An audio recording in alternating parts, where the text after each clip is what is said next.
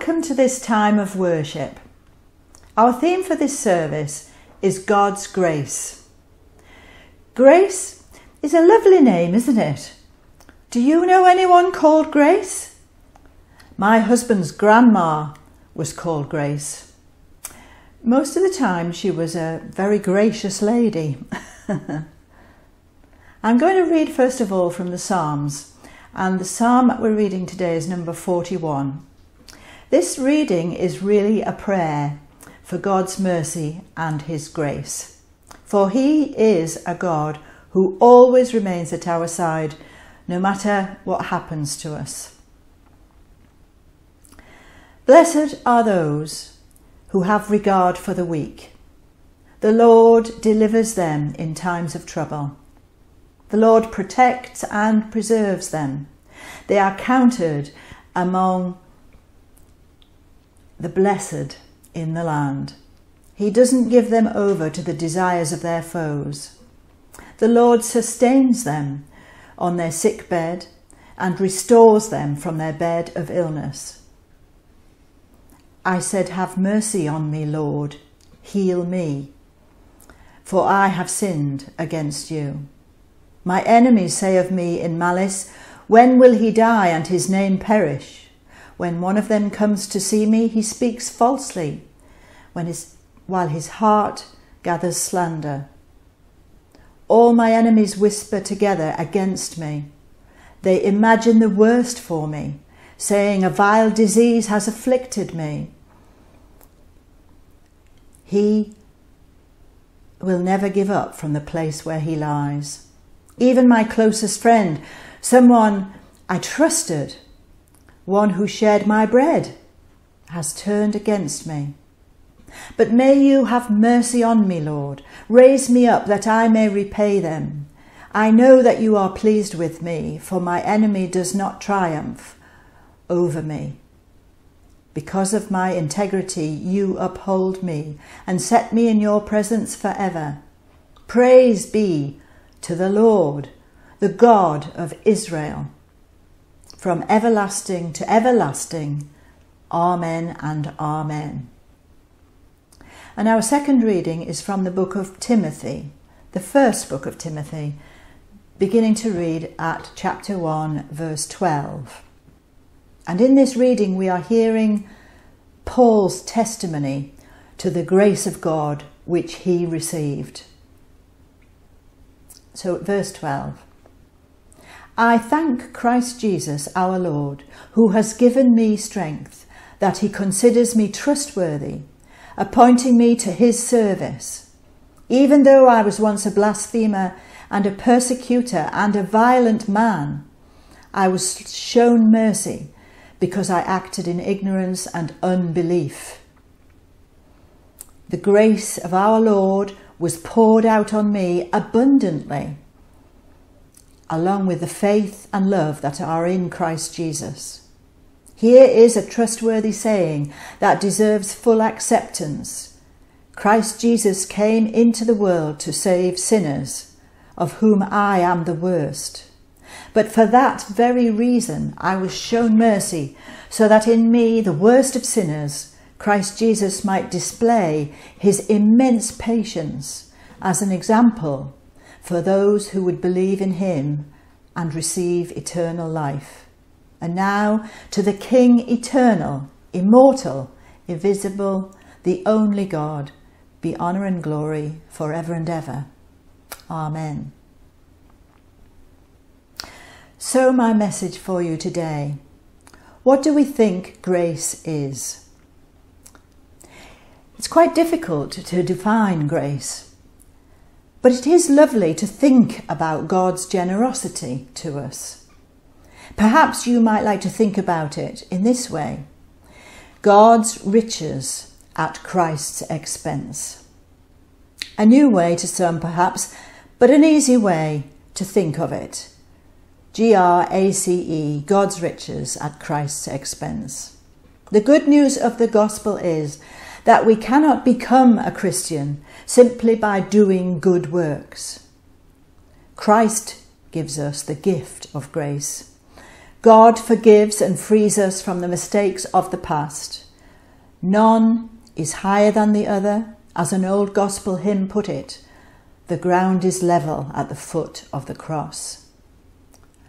So, why bother to do good if God accepts us already?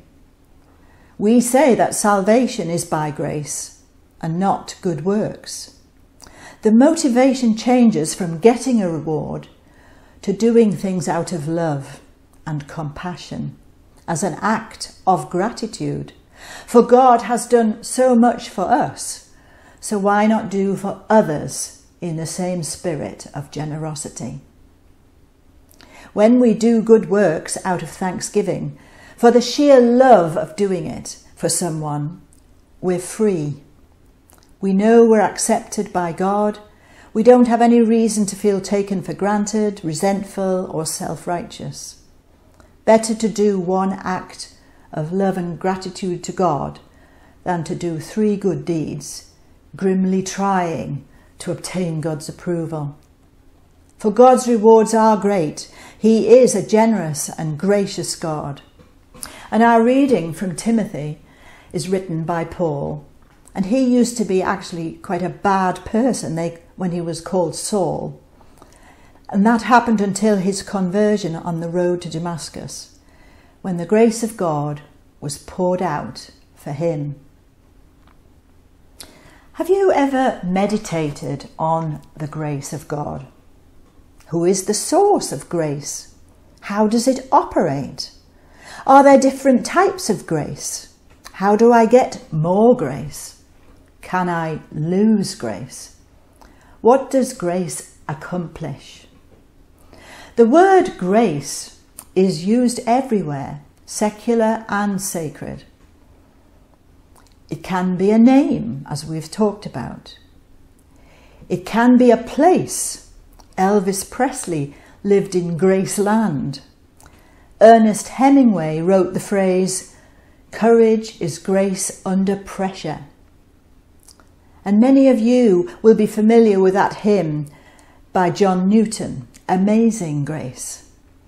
I still get goosebumps and a little teary in the eye when I hear that song and am reminded of Newton's transformation from a vile, drunk slave trader into a preacher and a pastor. John Newton knew firsthand about God's grace. Can you say with Newton, Amazing grace, how sweet the sound that saved a wretch like me? But if we dig a little deeper and look below the surface, there is a lot of confusion on this topic of grace. Paul's past and the vile reputation he had was changed through the glorious reconciliation that he experienced when he became a believer. He found a new source of strength when he found Jesus, and he set his whole life apart for God's service. Paul's purpose in life changed when he was called to be an example and to exalt God for the rest of his life. Grace was poured out on Paul in abundance, and not just grace, but faith and love found in Jesus Christ. For all of us who have received Christ as Lord and Saviour, the same grace, faith, and love has been poured out on us. Notice that Paul says that this grace, along with faith and love, are found in Christ. There are those people we come into contact with who live their lives based on good intentions. Some of them are involved in religious or community activity and doing good things. But the only giver of this special grace faith, and love is Christ and that special relationship that we have with him. Paul's only Paul's only purpose in life was to be an example to those who would believe in Christ and receive eternal life. And verse 16 it says, However, for this reason I obtained mercy, that in me first Jesus might show all long suffering as a pattern to those who are going to believe on him for everlasting life. Paul says, I was shown mercy so that I could be an example to others. Charles Haddon Spurgeon said, A person's life and their actions are always more forcible than their speech. When people take stock of him, they reckon his deeds as dollars and his words as pennies. It is his life and doctrine. If they are different, the mass of onlookers will accept his practice, not his preaching. Those who knew Paul well and the kind of man he had been were probably amazed at the transformation that took place in his life when he became a believer. What an amazing testimony Paul had. If God could transform a man like Paul, then there was hope for the vilest of sinners. And we see clearly one of the purposes for God in his mercy, reaching down and saving Paul, and that was for him to be an example to others to turn to Christ. Our own testimonies or stories can be a powerful example to those we come into contact with, so that they will too they will they will also believe in Christ and return, receive eternal life.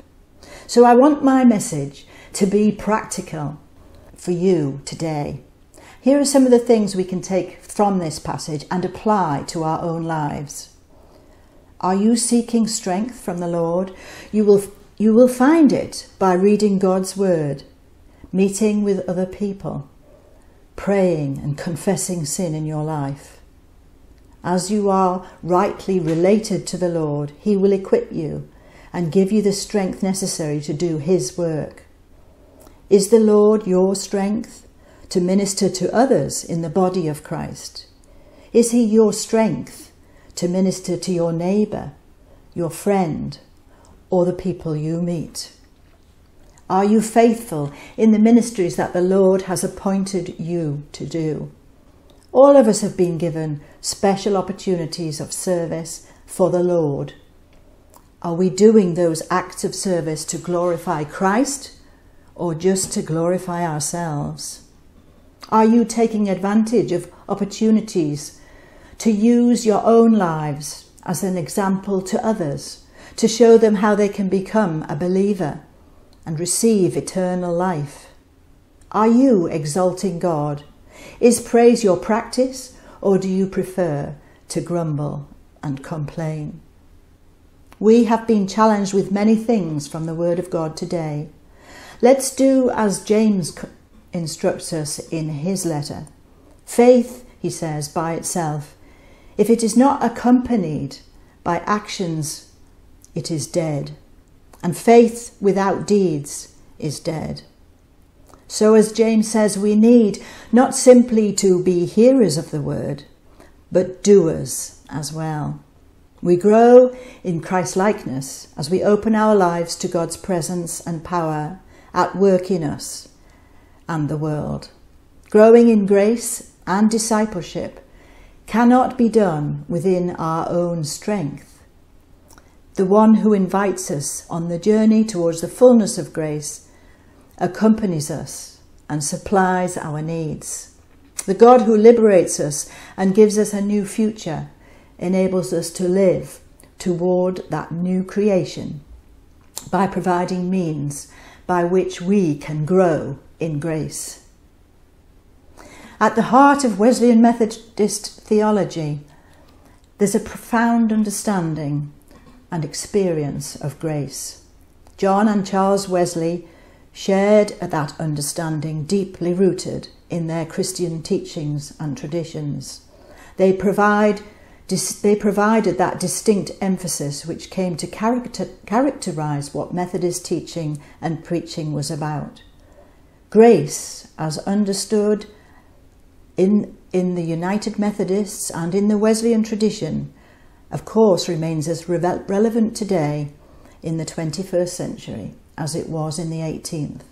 The Methodists still try to gather together in small groups, which then were called class meetings, and they watch over one another in love, trying to avoid evil and practicing good things Doing good and practicing is a means of grace.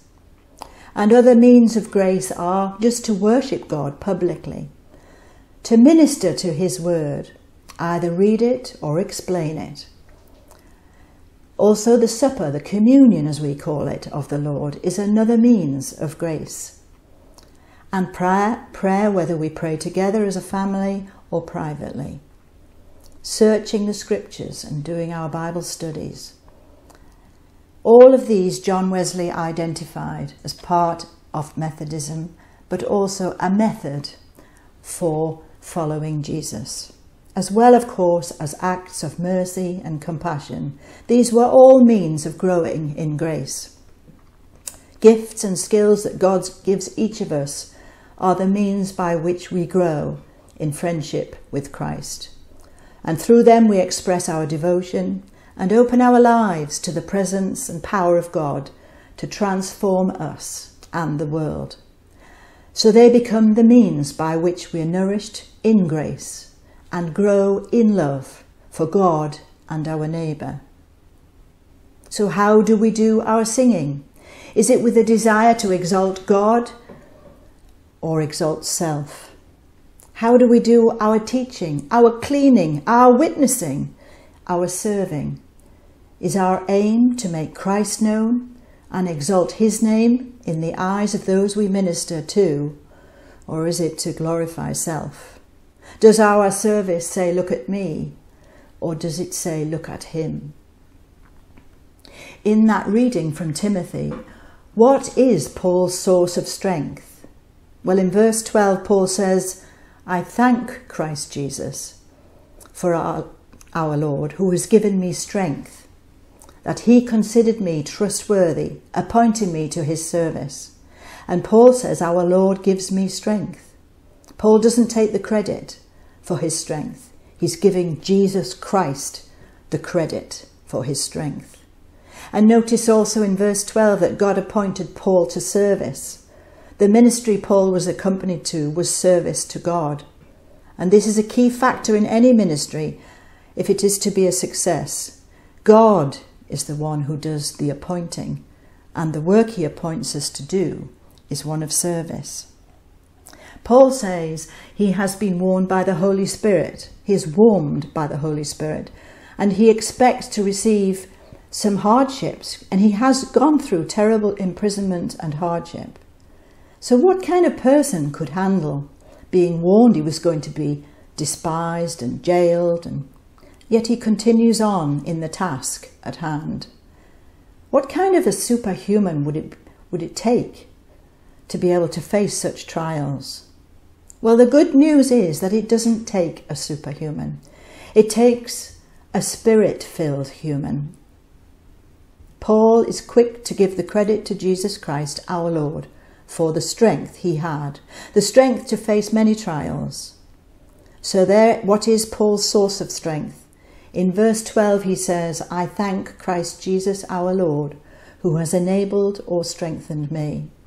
And Paul says, Our Lord gives me strength. Paul doesn't take the credit for his strength, he's giving Jesus Christ the credit for his strength, which comes through the grace of God. Is there a ministry that God has called you to that you have refused to be a part of? There are many things that God has appointed us to as believers. If we are parents, He has appointed us to nurture our children and raise them in the Christian faith. If we are part of, if we are um, married, He has commanded us to love our husbands and wives as Christ loved the church. If we are part of a family, we have opportunities to serve that the Lord has appointed us to. And we need to make sure we are not neglecting our duties as husbands, wives, fathers, mothers, even grandmothers and grandfathers. In our larger family, in the body of Christ, we need to be sure we are faithfully doing our part as well. What has God given you to do with His grace? Are you faithfully serving Him in those areas? Let us pray. Loving God, we thank you for your teaching today. We ask, Lord, that you teach us every day to live in a manner worthy of the gospel of Christ. Let us not be intimidated by opposition or criticism. Keep us firm in the faith you have set before us through Christ and with the Holy Spirit who guides us in your ways. We pray now for the things we see in the news happening in our world. We pray for the people who are suffering and for those who are trying to help. Bless all employers with a spirit of fairness and grace. We remember all who have to queue for work and all who depend on social security. We pray for those who are without work and on low incomes, for those who cannot get work through prejudice. May all who prosper be generous and willing to share with the needy. We give thanks for our own work and homes. We pray for all who supply us with the things we need. We remember homes where families go hungry and those who are in great debt. We pray now for those people we know in our own community and our own families who are struggling or need your help and strength. We give thanks for those people we know who have been faithful labourers in your kingdom. And we pray especially for them now and remember them quietly in our own hearts.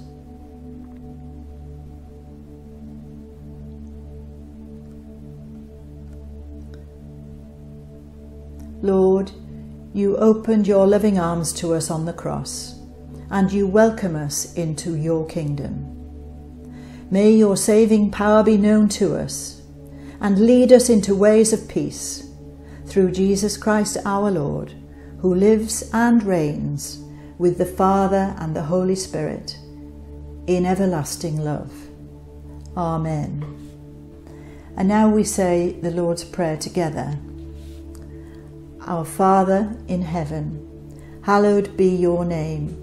Your kingdom come, your will be done on earth as in heaven. Give us today our daily bread.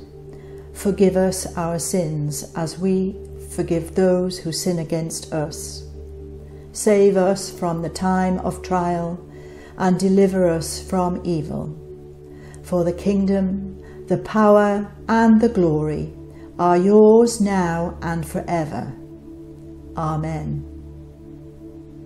And so may the deep peace of our gracious God be in your hearts and minds, in your actions and in your life.